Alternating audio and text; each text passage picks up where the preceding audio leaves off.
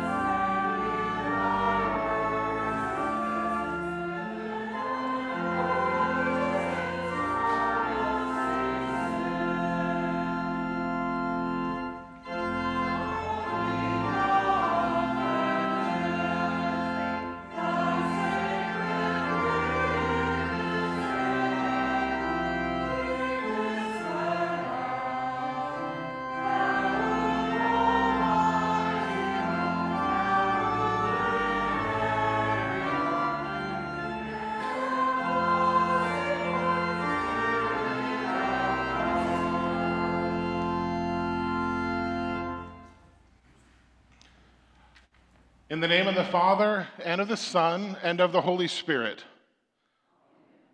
If we say we have no sin, we deceive ourselves, and the truth is not in us. Hmm.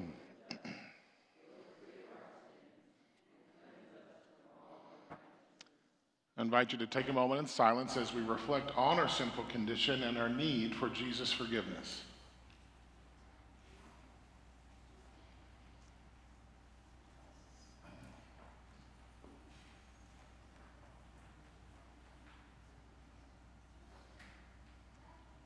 Let us then confess our sins to God our Father.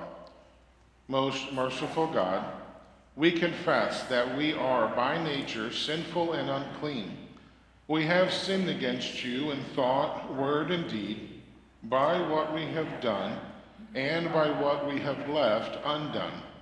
We have not loved you with our whole heart. We have not loved our neighbors as ourselves we justly deserve your present and eternal punishment. For the sake of your Son, Jesus Christ, have mercy on us. Forgive us, renew us, and lead us, so that we may delight in your will and walk in your ways to the glory of your holy name. Amen. Almighty God in his mercy has given his Son to die for you and for his sake forgives you all your sins. As a called and ordained servant of Christ and by his authority, I therefore forgive you all your sins. In the name of the Father, and of the Son, and of the Holy Spirit. Please be seated.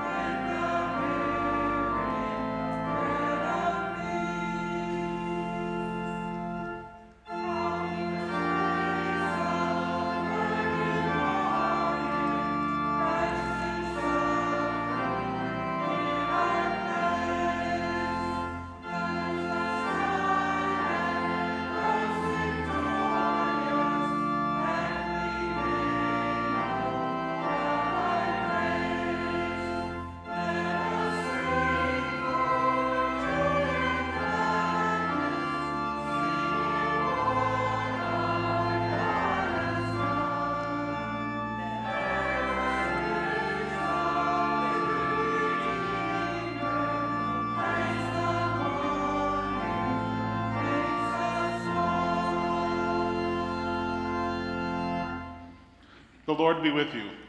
And also with you. And let us pray together.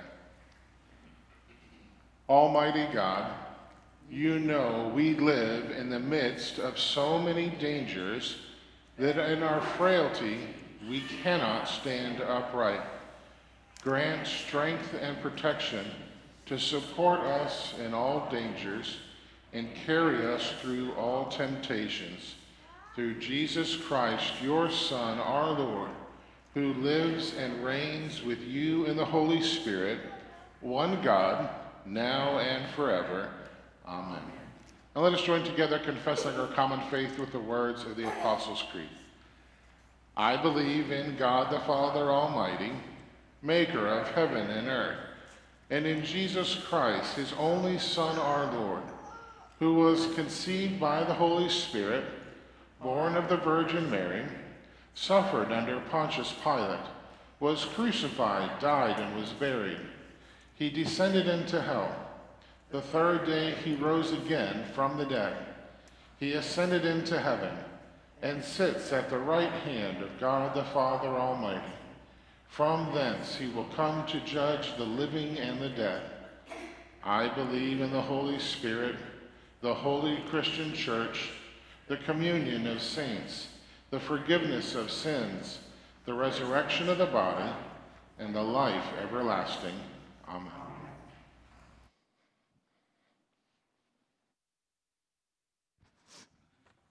Good morning.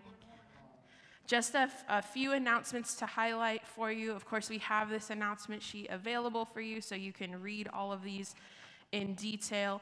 Um, but a couple things. again, just to reiterate what Pastor said, we're so glad to be back in person, um, to have people here. And unlike in the summer, we're not easing back into things where we just wanted to let the post holiday surge go down a little bit.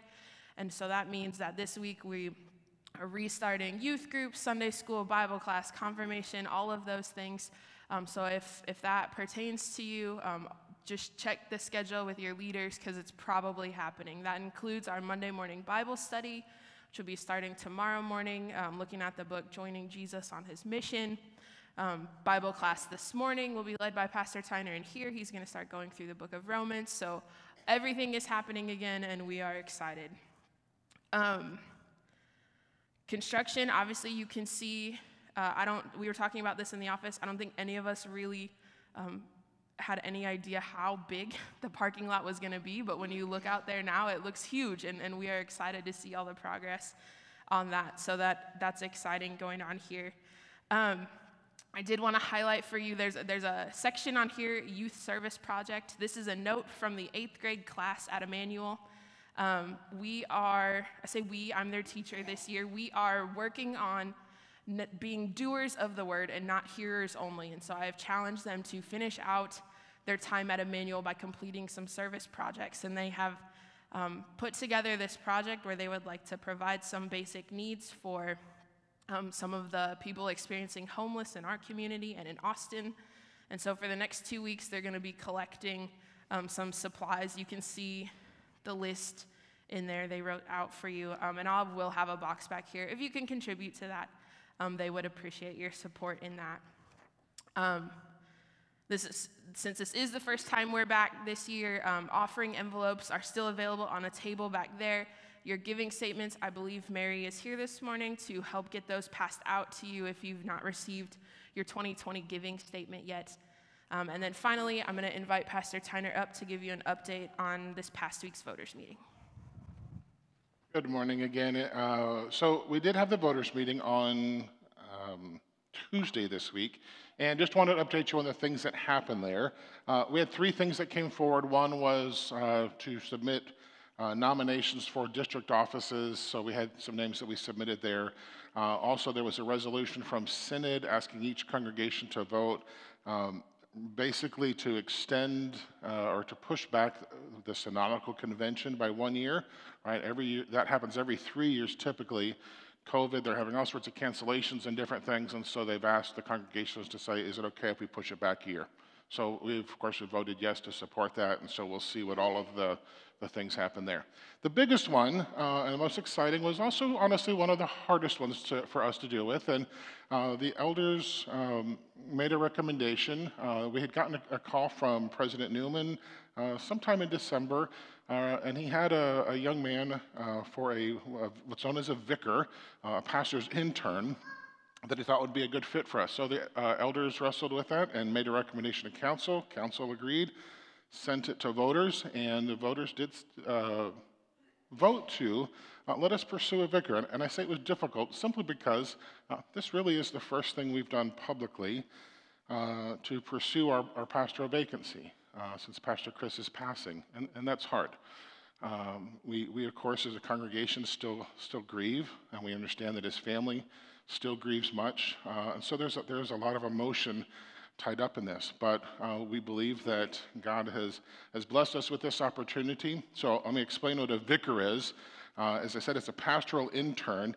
Um, a, a, a, guy will go through seminary. Typically, it's a four year process two years of school, one year of internship, and then back for another year of school.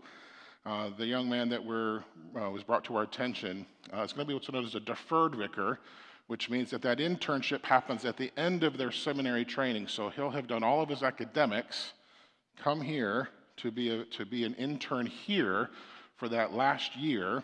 And then the hope is, or the normal process, if everything goes well, uh, that vicarage then converts to a call.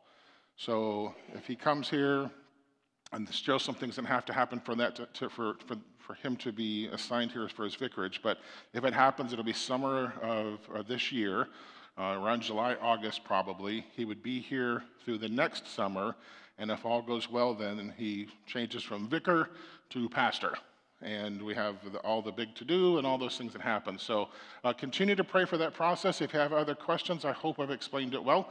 Um, if, but if you have other questions, reach out to me and uh, or, or, Larry Mathis, our head elder. He's been involved with the process uh, very closely as well, and hopefully we can answer any other questions. But it's a wonderful thing to be moving forward, uh, and an exciting process to be part of. Um, you know, I really do think it aligns well with a lot of Immanuel's values. Education is such an important part of of Immanuel's kind of DNA and to have the opportunity to be a place where a, or a, a man has a, a, significant part of his pastoral formation happen here. Because again, when he comes, he'll be a student pastor, right? Um, not just about a handful of sermons probably uh, ever done or any of those other things. So it'll be exciting to be part of that formation process for him uh, if all goes well there and he comes. So, all right, with that. Uh, we'll continue with our offering song. Again, you had your offerings plates in the back. Uh, and if you're giving, if you're at home and you're giving online, and we know you can do those things as well uh, as we continue to support uh, our mission and ministry here. Let's continue with our offering hymn.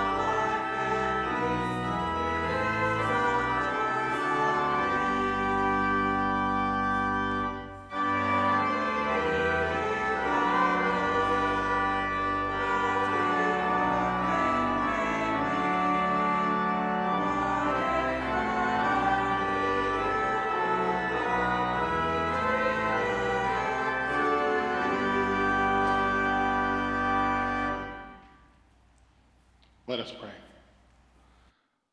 Gracious Heavenly Father, you are the giver of so many good gifts to each of us. Lord, we pray that uh, as we return this portion of our gifts to you, you would use them for the mission and ministry of this place as we continue to be courageous Jesus followers. Lord, we pray that your Spirit would continue to rest upon us, that we would give back to you that portion uh, that you call us to give, so that we may support and give honor to all that you do here. Lord, it is good uh, to be together again, uh, worshiping in this place. Uh, Lord, we thank you for the technology that allows us to also be there in people's homes, but uh, it is nice to be in the company of brothers and sisters in Christ. And so we, we thank you for this opportunity. And we thank you for all who are worshiping today, whether it be here in person or at home. We know, Lord, that your word is powerful and, is, and, and will continue to work wherever it is heard. We pray, Lord, that you continue to be with us as we, uh, Lord, as we proclaim the good news, as we speak the truth of all that we know in love to those around us. Lord, we ask you to, to be with so many uh, many that need your healing. We pray for Bruce Trader, Barbara Harville, Kay Pilgrim, Dinah Aiken, Joyce Keene, Carol Etzel, Ruby Coslin, Ellen Schneider, Gilbert Prusky, Catherine Scotty, and Dana Looney. Lord, you know the needs of each, and we pray your continued presence with them. We continue to lift up those also, Lord, that deal, are dealing with COVID, uh, and Lord, with those that are continuing to recover from COVID, uh, as that as we've learned, that process is long for many, and we pray your continued strength with them. We give you great thanks for all the doctors, nurses, and medical professionals, all those who continue to work so hard to bring health, healing to others. Lord, we pray for those families that grieve. We ask you to be with the family of Sophie Pompel, as you've called her home, uh, the family of, of Amy uh, Risky Lunsford, who was a, a former uh, teacher here in, at Immanuel many years ago, and uh, Lord, we pray that you would comfort all these, fam- all these families. We pray for the family also of Larry Yankee, uh, that you've called him home. Lord, be with all of them. Comfort them in their grief. Point them to Jesus and the hope that we have in him as they continue to strengthen each of them. Lord, we thank you for many gifts. We rejoice with Bruce and Violet Ingram as they celebrated 50 years together yesterday. We pray your continued blessings on them. For birthdays, we rejoice with Albert Madietz, James Maddock, Nita Urban, Levine Kuhlman, Amanda DeRowan, uh, and any others that we know. Lord, we pray that you continue to bless them. Lord, as I Ring the Bell uh, construction begins, we continue to lift up that entire project, praying your blessings upon it as we seek to transform Lee County through your word. Lord, we pray that you would continue to bless all of our efforts and the future use of these areas, uh, that they would be a blessing to you. We pray for the safety of all who work uh, and, and in the construction of uh, these facilities and ask you to continue to bless them. Lord, we pray for our, we continue to pray for our nation and its leadership and for, for leadership around the world, that the leaders would uh, be called to your purposes, that they would be responsible to keeping people safe uh, and upholding all just laws. Lord, we pray uh, for many in our staff and, and other ministries.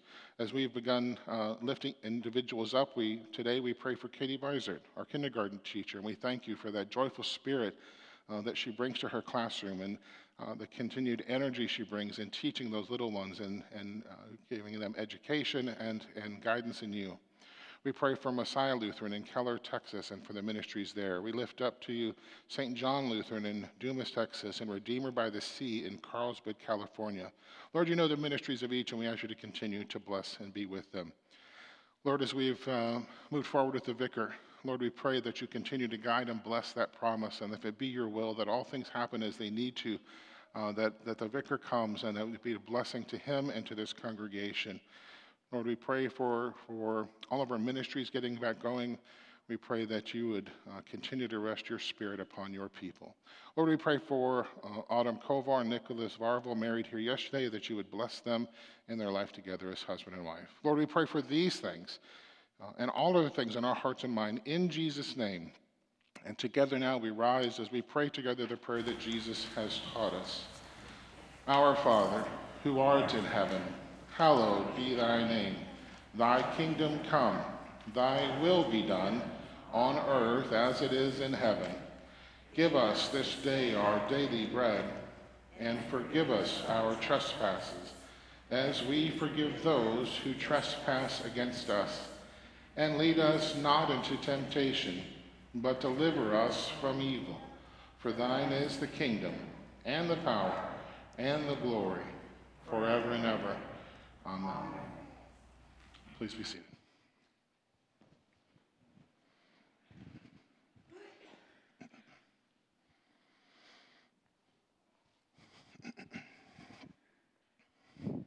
All right, our first reading this morning is from Deuteronomy chapter 18, beginning with verse 15. The Lord your God will raise up for you a prophet like me from among you, from your brothers. It is to him you shall listen, just as you desired of the Lord your God at Horeb on the day of the assembly, when you said, Let me not hear again the voice of the Lord my God, or see this great fire any more, lest I die. And the Lord said to me, They are right in what they have spoken. I will raise up for them a prophet like you from among their brothers and I will put my words in his mouth, and he shall speak them to all that I command him. And whoever will not listen to my words that he shall speak in my name, I myself will require it of him. But the prophet who presumes to speak a word in my name that I have not commanded him to speak, or who speaks in the name of other gods, that same prophet shall die. This is the word of the Lord. Our epistle reading today is from Paul's first letter to the Corinthians, chapter 8. Concerning food offered to idols, we know that all of us possess knowledge. This knowledge puffs up, but love builds up. If anyone imagines that he knows something he does not yet know as he ought to know, but if anyone loves God, he is known by God. Therefore, after the eating of food offered to idols, we know that an idol has no real existence and that there is no God but one. For although there may be so called gods in heaven or, and on earth, as indeed there are many gods and many lords, yet for us there is one God, the Father, from whom all things and for whom we exist, and one Lord, Jesus Christ, through whom are all things and through whom we exist. However, not all possess this knowledge. But some, through former association with idols, eat food as really offered to an idol, and their conscience, being weak, is defiled. Food will not commend us to God, but we are no worse off if we do, do not eat, and no better off if we do. But take care that this right of yours does not somehow become a stumbling block to the weak. For if anyone sees that you have knowledge eating in an idol's temple, will he not be encouraged, if his conscience is weak, to eat food offered to idols? And so by your knowledge, this weak person is destroyed, the brother for whom Christ died. Thus, sinning against your brothers and wounding their conscience when it is weak, you sin against Christ. Therefore, if food makes my brother stumble, I will never eat meat, lest I make my brother stumble. This is the word of the Lord. And please rise as you're able for this morning's gospel reading from Mark chapter 1. They went into Capernaum, and immediately on the Sabbath, Jesus entered the synagogue and was teaching. And they were astonished at his teaching, for he taught them as one who had authority and not as the scribes. And immediately there was in the synagogue a man with an unclean spirit, and he cried out, what have you to do with us, Jesus of Nazareth? Have you come to destroy us? I know who you are, the Holy One of God. But Jesus rebuked him, saying, Be silent and come out of him. And the unclean spirit, convulsing him and crying out with a loud voice, came out of him. And they were all amazed, so that they questioned among themselves, saying, What is this? A new teaching with authority. He commands even the unclean spirits, and they obey him. And at once his fame spread everywhere throughout all the surrounding region of Galilee. This is the gospel of the Lord. Please be seated. And at this time, I invite the children up for a message for them.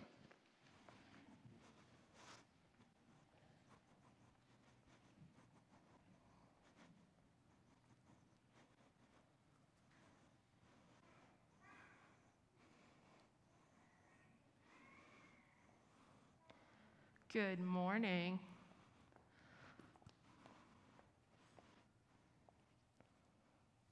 How are you guys today? Good. I brought some shirts with me today. I'm going to show you them. These are shirts that I wear a lot, okay? This one you're probably going to be the least familiar with. Can anybody read that word? You want to try it, David? It looks like a leanie. this is, it says Illini. This is a shirt that shows that I am a fan of the University of Illinois fighting Illini.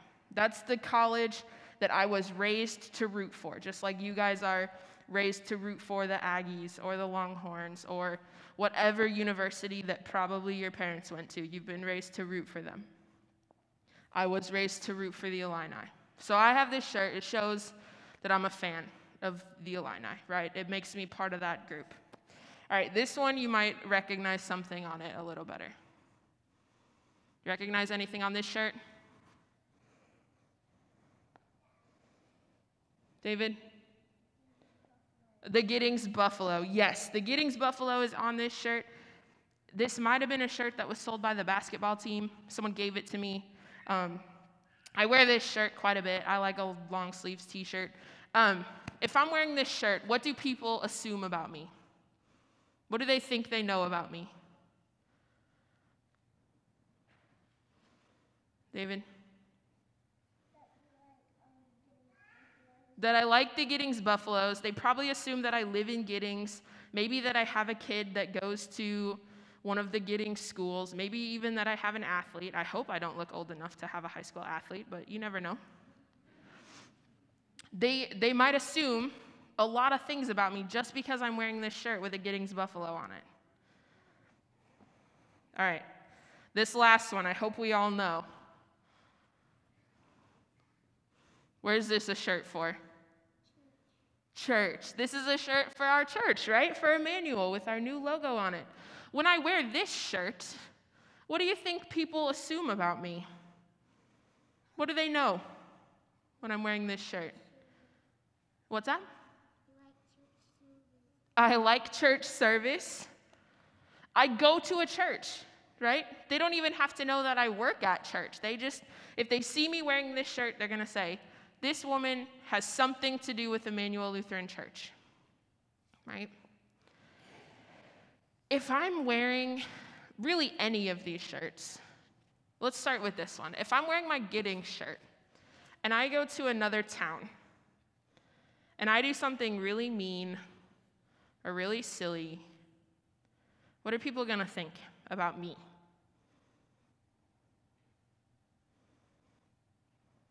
What do you think? David?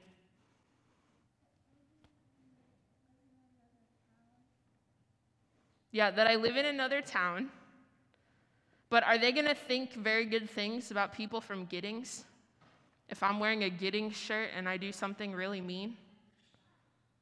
Probably not, right? I kind of become a representative for Giddings when I wear this shirt. How about this one? If I wear this shirt, say I'm, I don't know, where should I go in town? Where's your favorite place to go in town, Ansley? What's your favorite restaurant in town?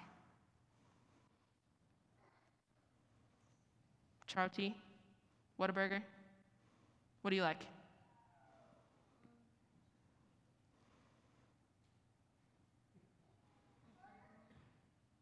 What? You like to go with your family? If your family's going out to dinner, where do they pick?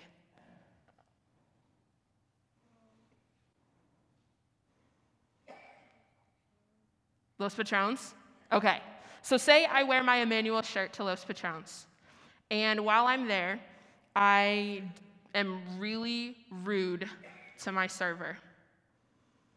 Do I am I being a good representative for Immanuel? No, right? Because they're going to see that and they're going to say, ooh, people from Immanuel are rude. I don't want to go there. Even worse, who else am I making look bad?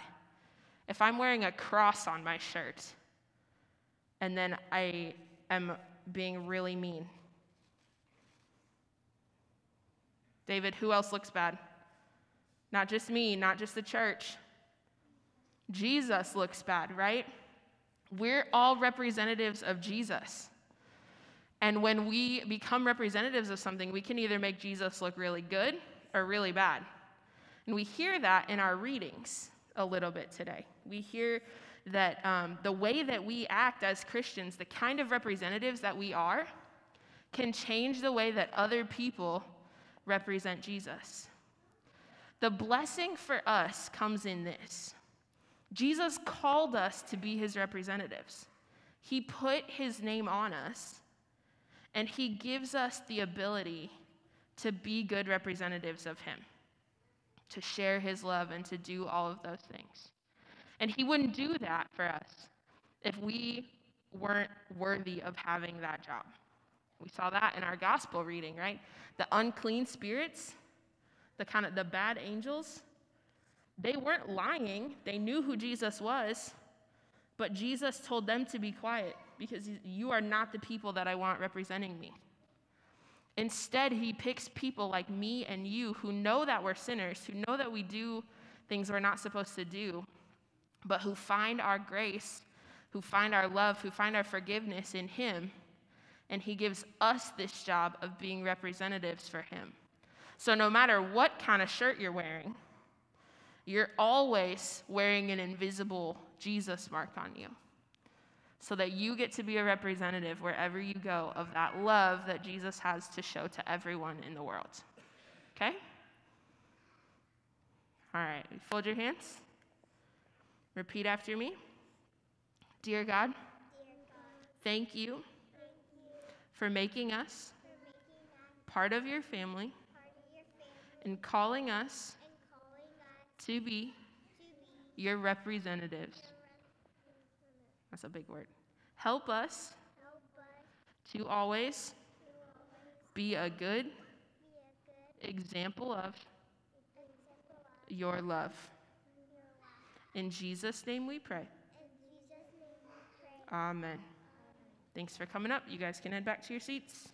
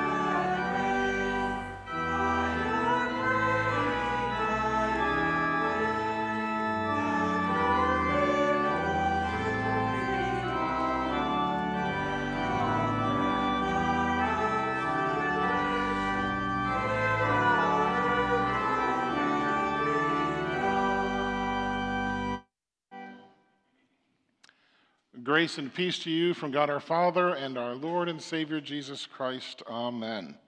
Uh, this morning I want to run some phrases by you. All right, I got four statements. I want to see if you come up with uh, uh, the common thread that runs through them. Okay, they're, they're all religious or churchy statements, so that's not the, the thread, just to give you a hint. Okay, there's something else beyond the obvious that these are, are, are churchy kind of things. first one money is the root of all evil. Okay, first statement. God never gives you more than you can handle. Second statement. Third, when God closes a door, he opens a window. And fourth, God helps those who help themselves. Okay, money is the root of all evil. God never gives you more than you can handle. When God closes a door, he opens a window, and God helps those who help themselves. I could go on. I was, as I was doing the research, there's all sorts of statements that are fitting this thread, this idea that I am going with here to start, um, but we'll stop with four. Anybody want to venture a guess as to what the common thread is with those four statements? Mm-hmm. Wait, what's that? They're wrong. Good. That's it. No, That's it. They're wrong, right? Now, how many of you have heard those statements before, though? How many? Well, so first, raise your hand if you've heard them. How many of you have spoken them? That's all right. You confessed, and we did. We could. We did forgiveness a second ago. Those are some pretty common statements that we hear. Okay, and, and uh, again, some of you might even said them, but the reality is they're just not true. First, is money the root of all evil? No. Scripture tells us, and, and here's where the, it, it, I mean, it's, it's taken a, a scripture verse and twisted it. 1 Timothy 6 For the love of money is the root of all kinds of evil. Okay, so money in and of itself isn't bad. If, it, if, if money was evil, why do we keep asking you to give us some for church? Okay? Scripture says the love of money is the root of many kinds of evil. So, love of money as opposed to loving who? As opposed to loving God, right? First commandment, you shall love the Lord your God with all your heart, soul, and mind. Okay? Um, or, or, you shall have no other God. So, so loving God is, is the greatest commandment, Jesus says. Okay? So trusting in the money, loving money is the root of all kinds of evil. evil. And so, so that's where that phrase comes from. So money in of itself, not bad. Second phrase God never gives you more than you can handle. That's false. 1 Corinthians 10 says this. This is, again, the verse where this kind of, we believe it was drawn from. 1 Corinthians 10, uh, verse 13. No temptation has overtaken you that is not common to man. God is faithful, and he will not let you be tempted beyond your ability. But with the temptation, he will also provide the way of escape that you may be able to endure it. Right? This verse is, or statement about God never gives you more than you can handle. Uh, when people are struggling, when people are having a hard time, we say this, and gosh, it sure is a nice feeling, or it's nice, sounds like something nice to say, okay, so that somebody can be encouraged that, gosh, you can get through this, you'll be all right, okay? But, but it's not at all what he's talking about here. In this, in this verse, he's talking about the temptations that we have will not overcome because he provides for us a way through that, okay? And the reality is that there are oftentimes things in our lives that are just overwhelming for us, that on our own we cannot handle. And instead, what does God point us to do? Not to rely on ourselves, but on who? on Him. Okay, so, so yes, there's plenty that overwhelms you and knows too much for you. But as you rely on Christ, you endure. Okay, as you rely on God's strength, you endure and you will get through it. Uh, when God closes a door, He opens a window. It sounds nice. There's not even a Bible verse that this comes from. It just sounded something like somebody, I don't know, I don't know the source of it. Uh, meant to be an encouragement, but the truth is sometimes God's no is just God's no and there's no other window to go find something better at. It's just that's it, and you, you got to be content with the no that you get from God regarding whatever that may be. And finally, this last one find, uh, God helps those who help themselves. You know, this one I think can especially lead us astray because really it is some truly awful theology. God only helps those who help themselves, is, well, uh, Scripture has something completely opposite to say. Ephesians 2, verse 4. But God, being rich in mercy, because of the great love with which He loved us, even when we were dead in our trespasses, made us alive together with Christ. By grace you have been saved. Not to be crude, but uh, just for sake of understanding this verse a little bit more and tying it to the, to the saying, what can a dead person do? Nothing.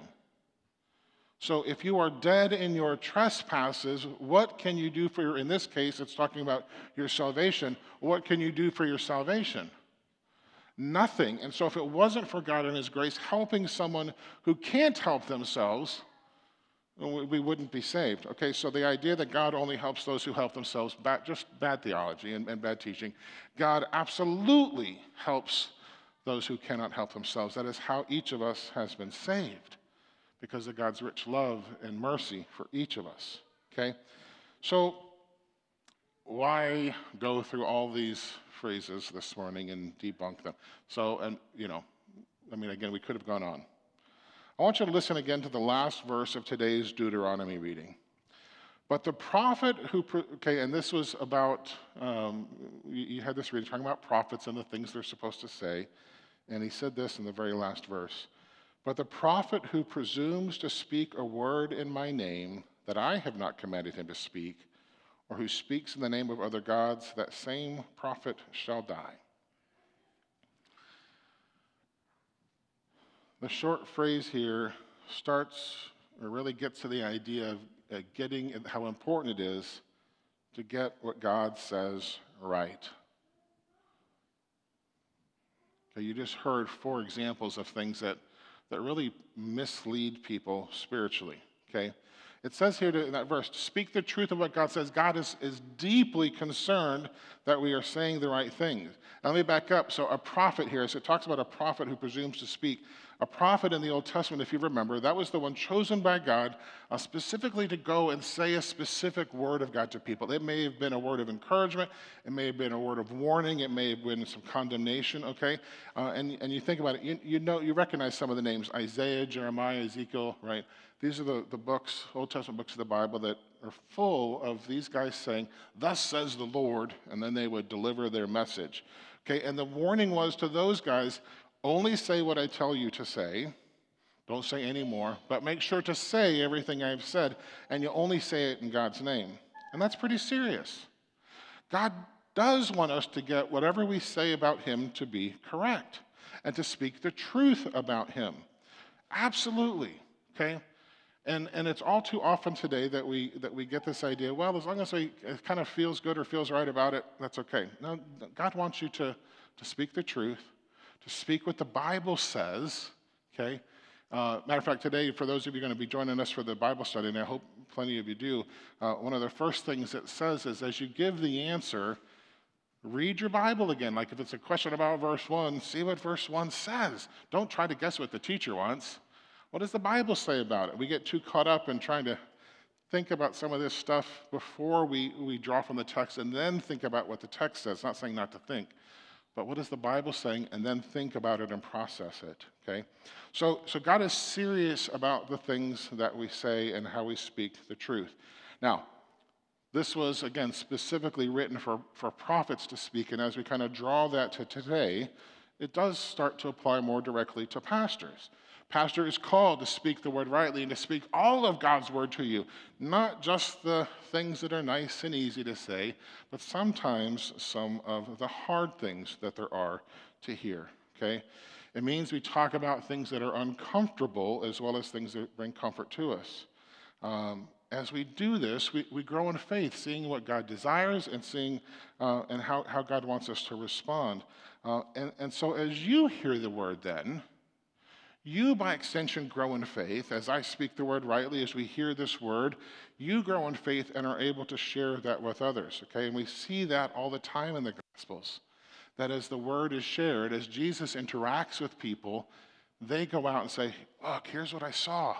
Here's what Jesus did. And you, as you hear the word, have that same opportunity. Paul does it all the time, talking about people going out and sharing you know, what they've seen and what they heard. And the challenge there is, as I started to say a second ago, is that we're speaking everything, not just the parts that we like. Okay, we tend as Christians to say, all right, well, you see what the Bible says here about that. Okay, so for example, Today we hear the church, many in the church, talking about homosexuality and it being a sin. They'll say that all the while ignoring ideas that the Bible says about premarital sex or adultery or some other sexual sin, about pornography and these kinds of things, about lust. So we'll pick one sin in this neighborhood of sin and ignore all these other ones, and so we don't speak the whole word. And we become hypocrites then, too, as we focus on just the one. People will even go so far in that kind of neighborhood of those particular topics to condone living together, saying, well, you've got to be in those relationships beforehand before you get married so that you know everything's going to be okay. And, and they're condoning sinful behavior, and you just can't do that, right? We like to pick and choose the sins that we want to focus on and, and, and make sure we let others know that they're messing up, all the while ignoring and dismissing our own. Can't do that. We got to speak the whole word of God, as comfortable as it may be. And there, when it happens, then it is something that does apply directly to us. Repent and confess and say, okay, Lord, help lead me to do right. That being said, and what's already, I'm afraid, happening in your hearts and minds as I say, we've got to start focusing on making sure we get all this right. What is our tendency when we're afraid to mess up? Well, if I'm not going to get it right, I better just I better just shut up. And that's not what God wants either. Okay? That's not what God wants either. He does not want us to be silent about His word. Okay? You could, you could be silent about it, but that's a weak response. And I, and I say it's weak because there is so much good to say. There is so much good to say we have a tendency in ourselves to focus on that law stuff the you should do this, you should not do that. That's our tendency when we interact with other people who are, whether they're other Christians or, or non Christians. We tend to, go, to, tend to get very law focused, right? And we think about all these rules because those rules will drilled into us, and we say, oh, you got to do this or you can't do that. And oh, we start kind of the finger wagging thing, and it's just bad. And so, we also get anxious about, well, if I don't say that right, I gosh, I don't want to mess up. And Pastor said today that the prophet says God's going to say the prophet's going to die, and ooh, no, I'm just going to be quiet. So we decide it's easier to not say anything. And we forget about the part that is easy to remember. We forget about the good part of what God says. Mark 16, 15. Go into all the world proclaiming the gospel to all creation. Scripture tells us, go, again, let me repeat it. Go into all the world proclaiming what? The gospel to all the creation. Now, we got to talk about what, what is gospel mean. Gospel means good news. What is, if, if I was to ask you, what's the good news of the Bible? You've got the whole Bible to think about from Genesis to Revelation. Could you tell me what the good news in there is? Oh boy, you're too quiet this morning. What's the good news? Jesus loves you. Right? The Bible does have all sorts of things about what you're supposed to do and not do, and those are very important. God does want us to know those things. Okay? But the Bible also says something about another thing. Well, let's back up for a second. With all those do's and don'ts, what's the consequence for us in our life? Death, right? And let me ask you, as it gets through, as it goes through and it says all these things about you do this and don't do that, by the time all those do's and don'ts are done, who is left out of any of us that has any reason to expect that they can go to heaven based on their own actions? Is there anybody left of all of us? I'm not talking about Jesus here. Is there any person that, when you get through the list of do's and don'ts, that's good enough to get to heaven? No. Not the people out there that we often, you know, kind of wag our fingers at, but none of you either. None of you. Period. And we get to where we see that it's each of us is left with nothing but God's mercy. And that's where the good news kicks in. It tells us that while we don't have a leg to stand on, we do have a loving and merciful God. One who, who did not overlook sin, to be sure. He doesn't overlook our sin. He can't abide the sin. He hates and despises the sin because he is almighty, all powerful, but he is also a God that loves you. And the Bible tells you how much he loves you. He loves you so much that he sent his son, right? John 3:16. For God so loved the world, so loved you that he gave his only son, that whoever believes will not perish. And we know that's the good news.